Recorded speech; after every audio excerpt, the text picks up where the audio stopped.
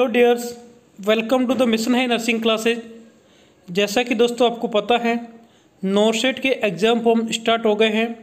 बहुत सारे लोगों को फॉर्म पढ़ने में दिक्कत आ रही है।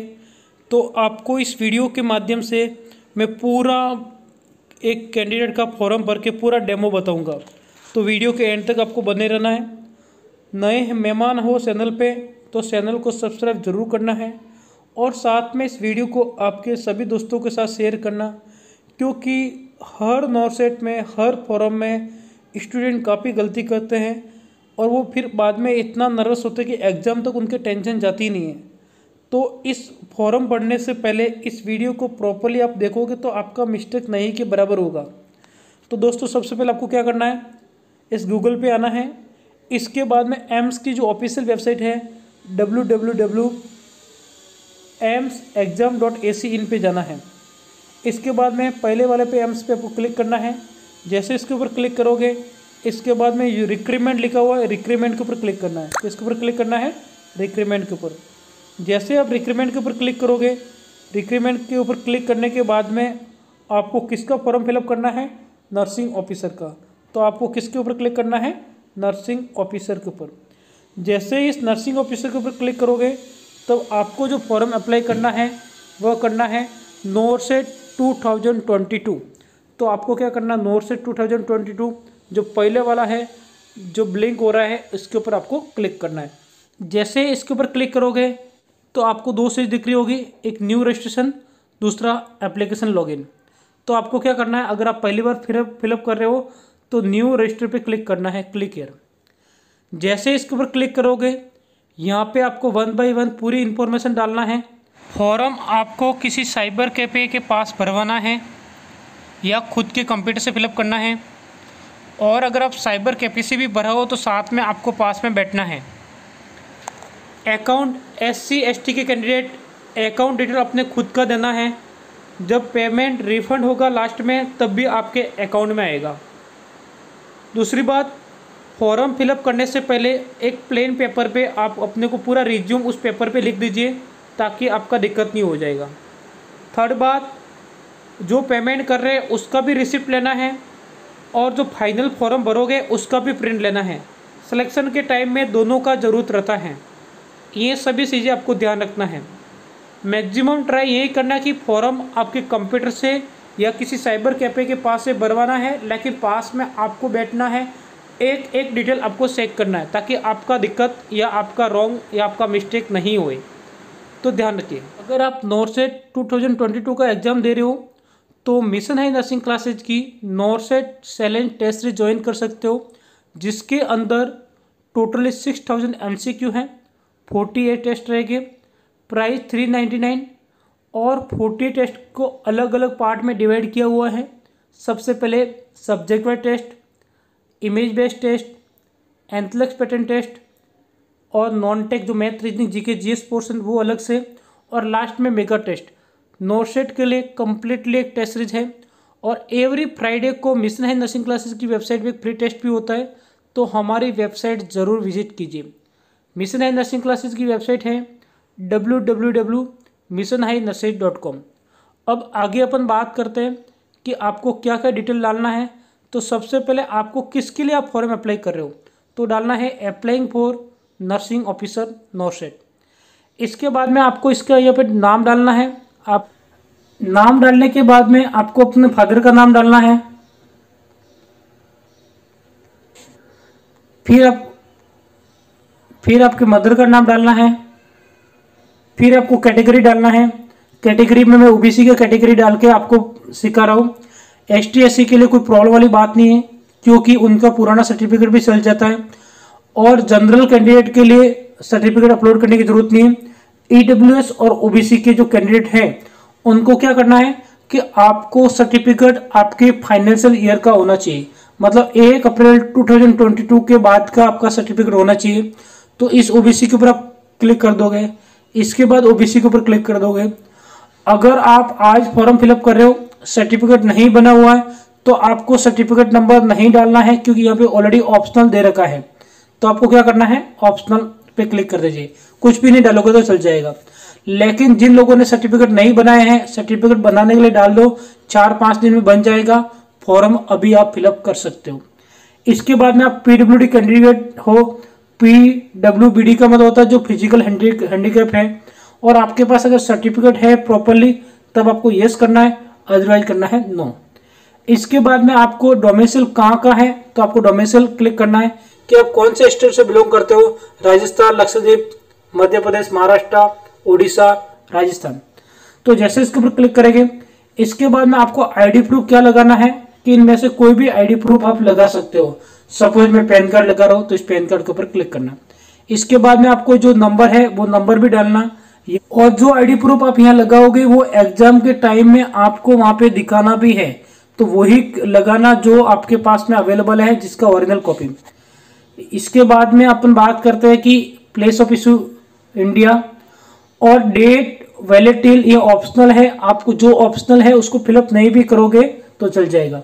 फिर आर यू गवर्नमेंट एम्प्लॉय क्या आप पहले से गवर्नमेंट एम्प्लॉय हो? ये सर नो अगर आप गवर्नमेंट एम्प्लॉय हो तो आपको डिपार्टमेंट से एनओसी भी लाना पड़ेगा। एनओसी का भी पारवादन बता देता हूँ कि आपके डिपार्टमेंट को आपको इंटीमेट करना है कि मैं फॉर्म फिलअप कर रहा हूँ, ताकि अगर आपका सिलेक्शन भी होगा तो आपको टेक्निकल रिजाइनेशन मिल सकता है।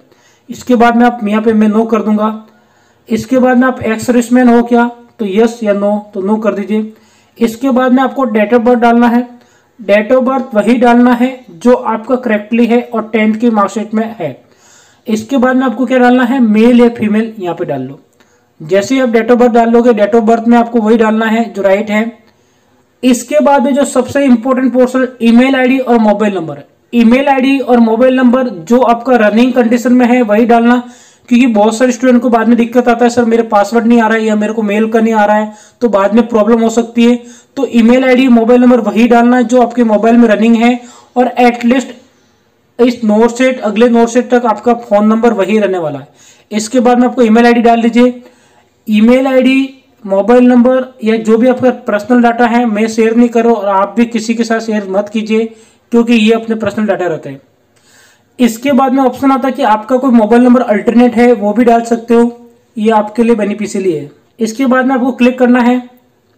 जैसे क्लिक करोगे, इसमें लिखना है सेव एंड प्रोसीड एग्जिट नहीं करना है प्रोसीड करना है। जैसे आप सेव एंड प्रोसीड करोगे, ये आईडी अभी आपको शो हो रहा होगा एक मैसेज के माध्यम से। इसको आपको लिख के रखना है और आपके ईमेल आईडी पे भी चले गए होंगे, आपके मोबाइल नंबर पे भी मैसेज आ गया होगा। तो इसको क्या करना है, आपको क्लिक करना है। इसके बाद में ये आपका जो पहला स्टेप है, पहला स्टेप कंप्लीट हो गया है। इसके बाद में जो दूसरा स्टेप आपको फिलअप करना है। अब एक छोटा side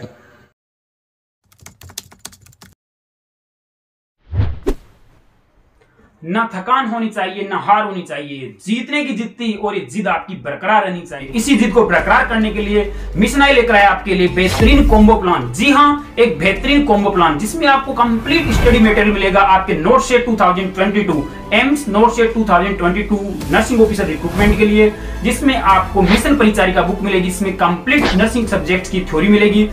Second book mission old paper जिसमें आपको 2015 से 2022 तक के पूरे पुराने पेपर्स विद सॉल्यूशन आपको मिलेंगे। थर्ड बुक की बात करूँ तो मिशन नॉन टेक जिसमें आपके ओल्ड नॉन टेक सब नॉन टेक सब्जेक्ट्स जहाँ से आपके 20 क्वेश्चन आने वाले हैं बेथ रीजनिंग जी के कंप्यूटर की एक शॉर्ट बुक मिलेगी। इसके अलावा फोर्थ बुक की बात करूँ तो मिशन नॉट सेट चैंपियन जिसमें ओनली इमेज बेस्ड क्वेश्चन है। Thousand more than thousand plus image based question आपको मिलेंगे।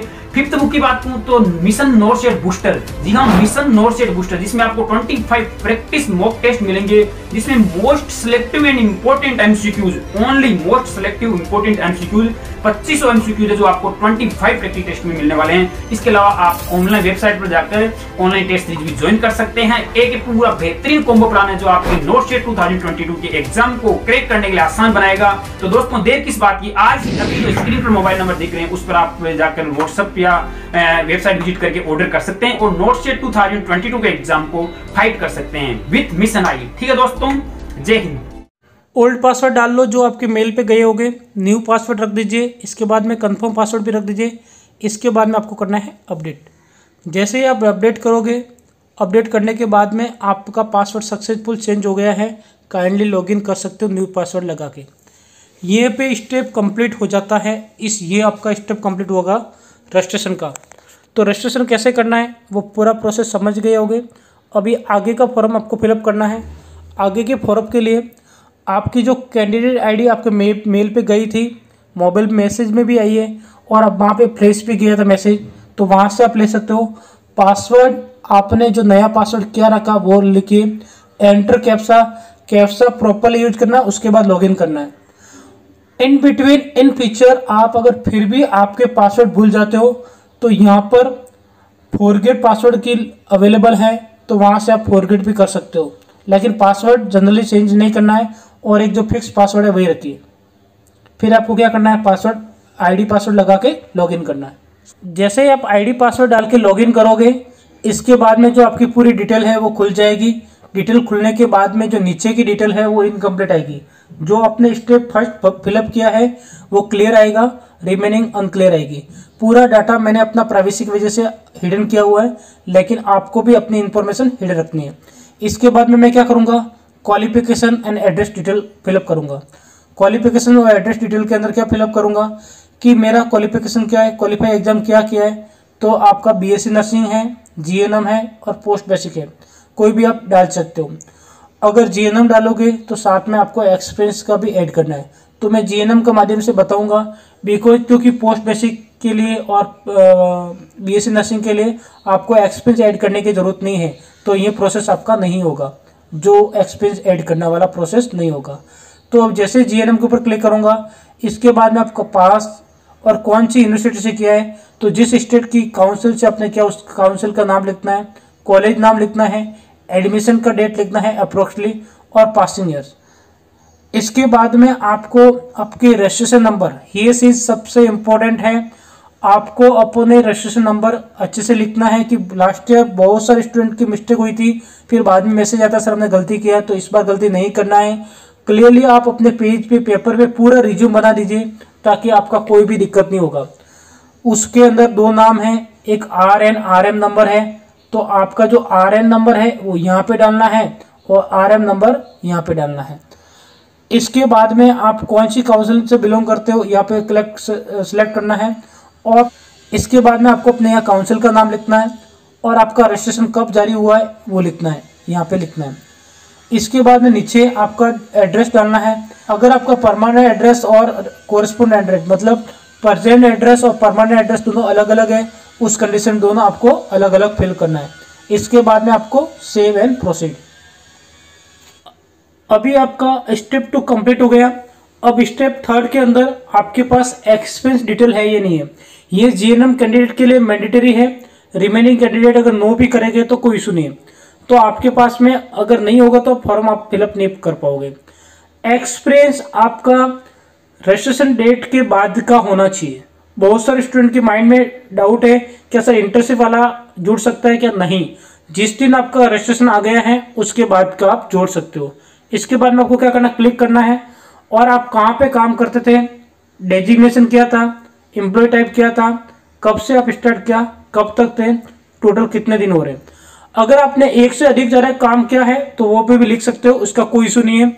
आपका छह महीने इधर से किया, छह महीने इधर से किया, छह महीने, ऐसे करके भी आप टू ईयर का एक्सपीरियंस कर सकते हो, इसमें कोई सुनिए तो इसमें आपको डिटेल फिलअप करना है। सपोज़ जैसे आप ऑर्गेनाइजेशन का नेम करो तो वहाँ पर सभी एम्स का नाम आ रहे हैं तो आपको कंफ्यूजन होने की ज़रूरत नहीं है। आपको अदर्स पे क्लिक कर लोगे तो भी आपका काम हो जाएगा। इसके बाद में वो सेम टू सेम प्रोसेस आपको सेव एंड नेक्स्ट करना है। जैसे आप सेव एंड नेक्स्ट करोगे, इसके बाद में अलग प्रोसेस खुल जाएगा। इसके बाद में अगर आपको एक से अधिक जोड़ना है, तब आप ऐड कर सकते हो। और अधिक जोड़ना है, तब आप ऐड कर सकते हो।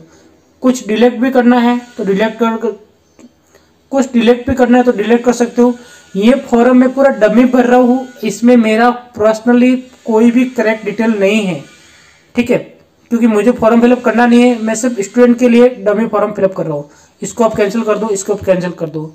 इसके बाद में आपको क्या करना है? सेव एंड प्रोसीड जैसे सेव एंड प्रोसीड करोगे, इसके बाद में स्टेप थ्री आपका कंप्लीट हो गया स्टेप फोर्थ स्टार्ट हो जाएगा।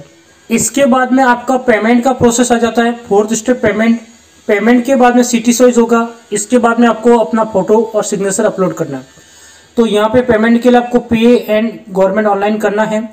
पेमेंट आप क्रेडिट कार्ड से कर सकते हो डेबिट कार्ड से कर सकते हो इंटरनेट बैंकिंग से कर सकते हो यूपीआई से कर सकते हो। जहाँ से आपको अप्रोप्रिएट लगे, वहाँ से कर सकते हो। बट मैं पर्सनली आपको इंटरनेट बैंकिंग के लिए सजेस्ट करूँगा, क्योंकि यहाँ पे पेमेंट फेलियर की पॉसिबिलिटी कम से कम रहती है।